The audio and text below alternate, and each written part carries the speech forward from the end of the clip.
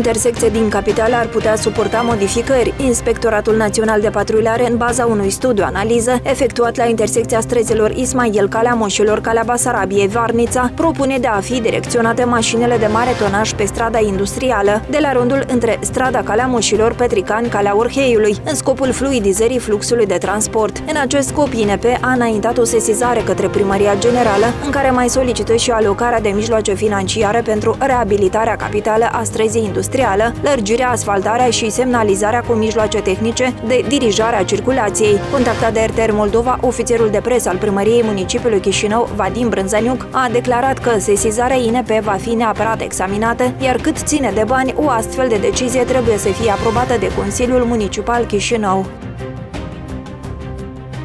Președintele ales, socialistul Igor Dodon, a lansat patru mesaje către oponenții săi, chemându-i să-și recunoască înfrângerea și să nu dezbine societatea prin proteste. Atât Comisia Electorală Centrală cât și numărarea noastră paralelă a confirmat că am învins noi. Au recunoscut-o și observatorii internaționali. Regret poziția oponenților mei care incită oamenii la proteste, la ură și la nerecunoașterea alegerilor. Noi am așteptat această victorie șapte ani. Oare credeți că nu o vom apăra? Eu chem susținătorii mei să nu creadă speculațiilor și să nu iasă la proteste. Dacă va trebui, vor ieși, dar doar dacă eu voi spune asta. Eu chem la liniște. I-am invitat pe cei de la PPDA și PAS la dialog, dar nu au răspuns. Alegerile au trecut, acum trebuie să muncim, a mai spus Igor Dodon. La o conferință de presă luni, Maia Sandu a spus că nu are ce să vorbească cu Igor Dodon, că nu recunoaște rezultatele alegerilor și că va depune la Curtea Constituțională toate încălcările sesizate. Tot luni, împotriva rezultatului scrutinului prezidențial, au protestat tineri din cadrul asociației Asociației Unioniste ODIP, dar și mai mulți elevi din capitală, printre ei și copii din clasele a șaptea.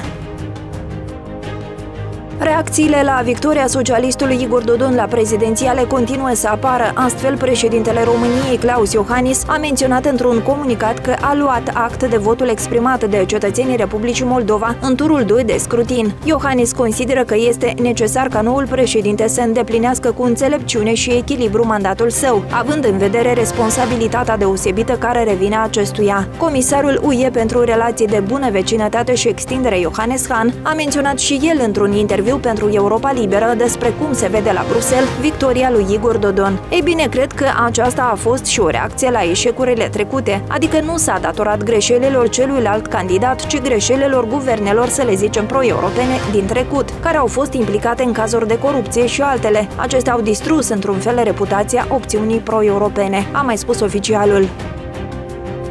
Liderul PL Mihai Gimpu aduce acuze pe rețelele sociale liderilor PAS și PPDA. După ce și-a început mesajul cu și Gulai Vania e tot vaia strana, Gimpu a scris că alegerile nu Dodon le-a câștigat, alegerile le-a pierdut PAS, platforma Da și umbra lor PLDM. Năstase și Sandu n-au dorit nicio clipă să audă sau să înțeleagă că alegerea președintelui de către cetățeni este o capcană a Kremlinului de a lua Republica în mod democratic după înfrângerea suferită în ianuarie anului curent în lupta cu liberalii, cu mine, dacă doriți. Cine, dacă nu platforma DA, a început să buimăcească lumea cu alegerea președintelui prin votul cetățenilor? Cine a acumulat semnături? Ce credeți, că ei nu cunoșteau sondajele? Pe cine vor să aducă moldovenii la putere după furtul miliardului? Eu și colegii mei de partid am vorbit îndeajuns cine poate veni la putere în caz de alegeri anticipate și cine poate ajunge președinte în cazul alegerilor directe, dar n-am fost auziți nici în primul caz, nici în al doilea, a mai scris Gimpo. Contactați de RTR Moldova, nici reprezentanții PAS, nici liderul PPDA Andrei Năstase nu au răspuns apelului apelului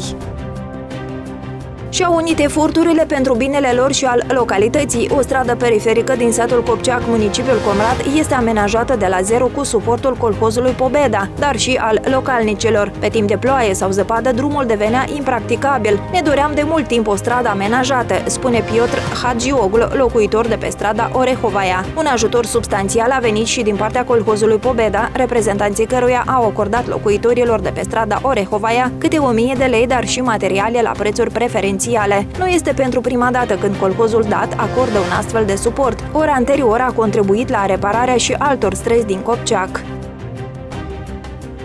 Bătaie în Parlamentul ucrainean. Doi politicieni și-au împărțit pumni în timpul unei ședințe a legislativului de la Kiev. Potrivit presei străine, Yuri Boico, membru al Alianței de Opoziție, l-a lovit în plină figură pe Oleg Leașco, de la Partidul Radical. Cei doi s-au luat la bătaie după ce ultimul l-a acuzat pe Boico că ar fi agent al Kremlinului. Deși s-a încercat calmarea spiritelor încinse, nu s-a reușit pentru că Leașco i-a luat la dăbăcit și pe cei care încercau să-l oprească din datul pumnilor. Imaginele surprinse au fost postate pe mai multe rețele de socializare realizare.